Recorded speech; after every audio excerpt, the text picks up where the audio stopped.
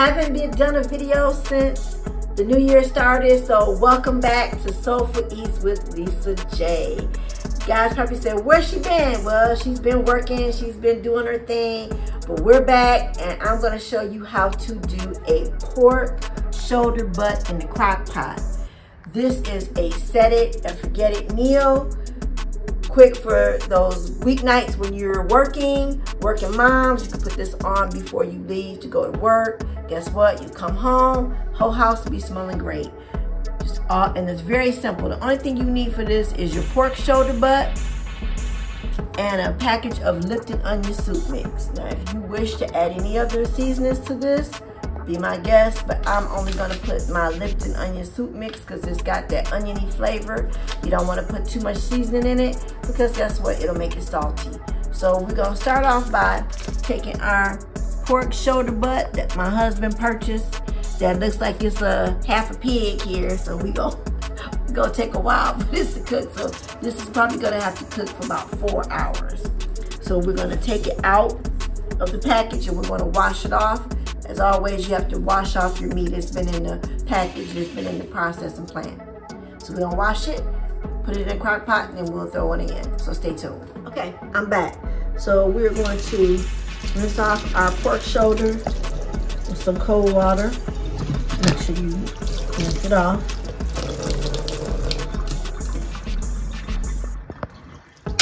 And then I'm gonna take it and put it down into my crock pot like that, fat side up.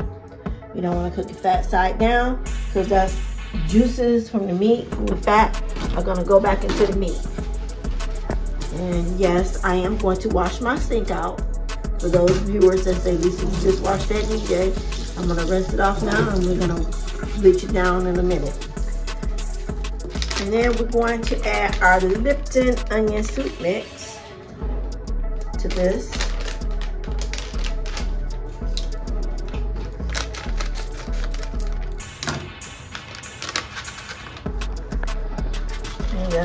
Sprinkle that all over your pork shoulder. That's gonna give it that oniony flavor. Like I said, if you wanna put any other seasonings, you can. I'm not, because I don't want my pork shoulder to be salty. And then I'm going to add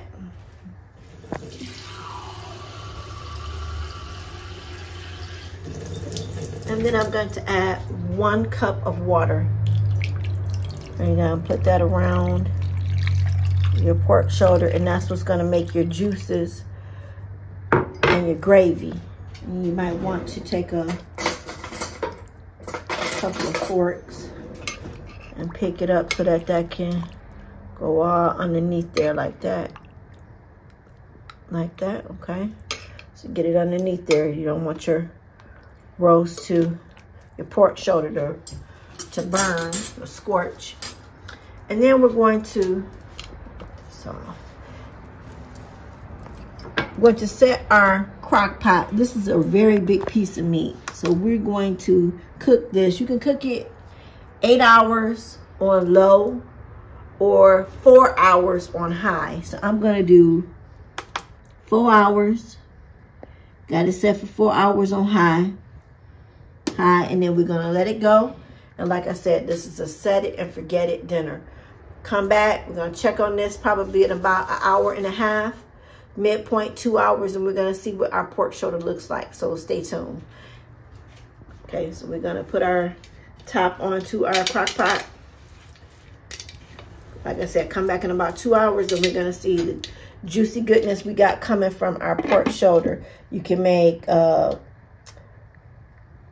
pulled pork with this. You can slice it, have it with gravy, whatever you have. But most people like to shred it. It's tender and make um, pulled, pulled pork, put barbecue sauce with it. So two hours, come back, stick with me, hang tight, and we'll just see what it looks like.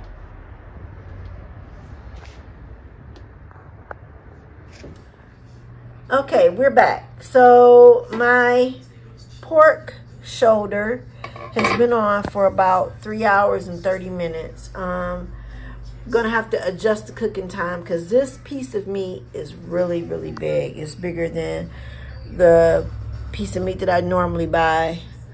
Um, so we're gonna have to let this cook probably about five to six hours because it's not going to be done all the way through. If you get a piece of meat that's this big, just if you put it in the crock pot, just know that you're gonna have to probably cook it about five hours, six hours for it to be done all the way through. So if this is the three hour mark, three hours and 30 minute mark, and we're gonna have to let it cook about another three, three and a half hours, four hours before to be fully done. So just stick with us, hang tight, and we'll come back and we'll show you what it looks like when it's completely done.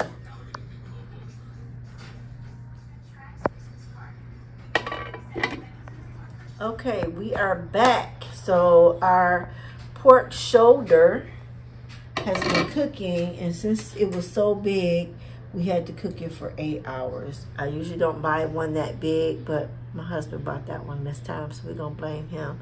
Usually it takes about maybe three and a half to four hours to cook a normal one. So we're gonna take this out and it does have a bone in it and we are going to shred it up and we're going to make pulled pork sandwiches with this. So I'm gonna grab this like this. And it is really, really big. It's like having a pig in here. Hold on one second. Maybe I'll grab it from the side. There we go. Holy cow, this thing is huge. See, it's falling apart. Okay. And that's what your pork shoulder should look like. It's done all the way through and you basically just take your fork because you got some here and see how it's falling apart and you pull it with your fork take some forks and just pull it apart. And you can eat it like this or the gravy that you the juices that you have down in the crock pot you can make gravy with that. But I'm not going to make any gravy tonight. I'm going to take this pull it apart and put some barbecue sauce and we're going to have pulled pork sandwiches. So this is our pork shoulder that we cooked in the crock pot. So I want you to try this. Try this recipe. If you like it, let me know. As always, like and subscribe and keep watching my videos and have a great evening. Thanks.